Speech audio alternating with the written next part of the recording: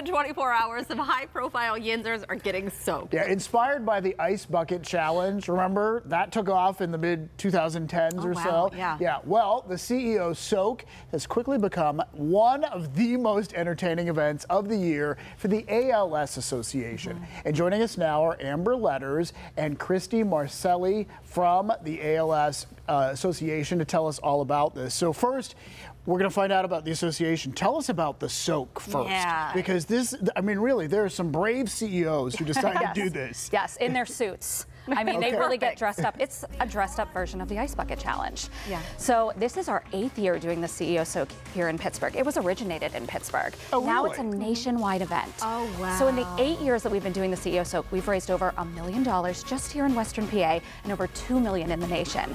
So eight years, and this is also the 10 year anniversary of the Ice Bucket Challenge. So we have a lot to celebrate this year at the Soak. Oh, that's wonderful. Yeah. And we're seeing some video there. So do they actually walk through? We have a red carpet. Daisy Jade is our MC. Oh, We're so excited to have her.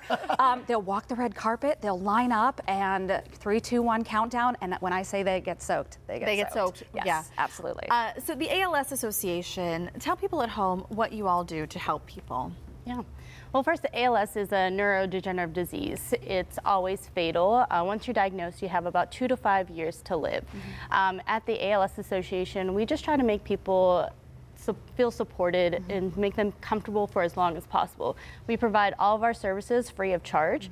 So we help with equipment. Um, we support the clinics in our area. We have two certified centers of excellence in our um, in Western PA alone, and this is a, a really comprehensive approach to care. So it's a one-stop shop for our patients to come in, see all the doctors that they need to see in one stop, and so all the doctors are on the same page with their care throughout their whole journey. So Right. it's really great. yeah. Uh, So you just talked about some of the numbers and the amazing amount Mm-hmm. of money that you're able to raise through this. How how big a difference does that kind of fundraising make in helping people in our area?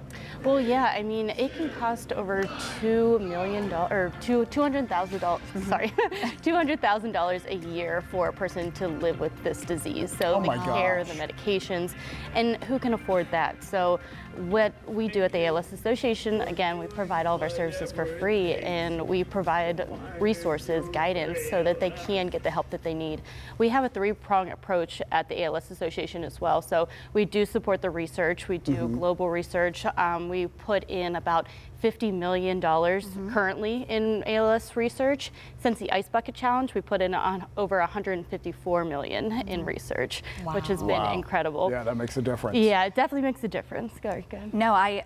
So I lost my dad to ALS in 2021. So I have been on this journey, and I have to tell you that the ALS Association, from ramping to uh, smart home devices, mm-hmm. a van, a wheelchair.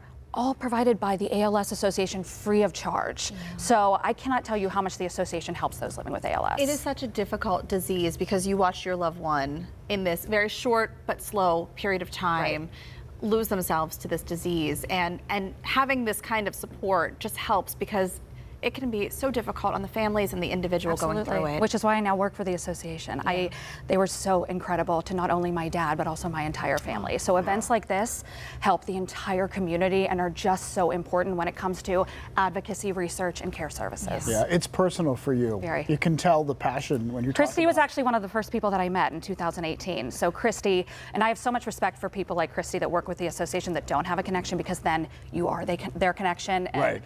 Just as much just as much passion right here. definitely. yeah. so happy to have you both here to talk about this. Thanks. Yeah, and what a fun way to raise money. what a Especially that we to- don't have to get into Right. the fountain. That's right. We just watch. Well, right, It's yeah, that's fantastic. even better. It's a nice day for it, though. It's plenty warm out there. Pittsburgh will celebrate its eighth CEO Soak tomorrow, Thursday, August 8th at 4 p.m. at PPG Place Fountain. Yeah, the event will help ALS, the association, get one step closer to reaching its goal, making ALS livable for everyone, everywhere, until a cure is found. And we have more info on all of this on our website, pittsburghtodaylive.com.